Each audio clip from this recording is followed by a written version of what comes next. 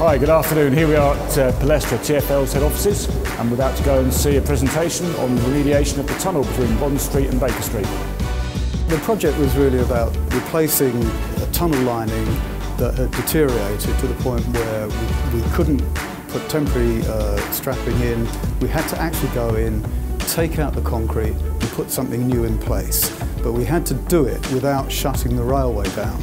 Um, and we had no idea actually that was possible. So this project was really about the digital engineering where we modelled it all first, we proved it was possible, we proved that we could do it for a certain price at a certain time with outcomes which we understood before we actually went and did it.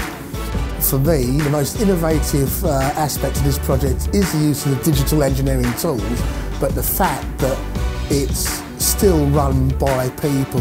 They're leveraging the power of computing to make advice, informed decisions, create designs that work and deliver.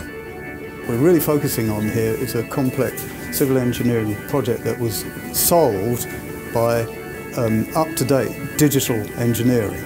And it's a shining example of how modern technology in terms of data management can actually uh, allow you to do things that we could not have done without it.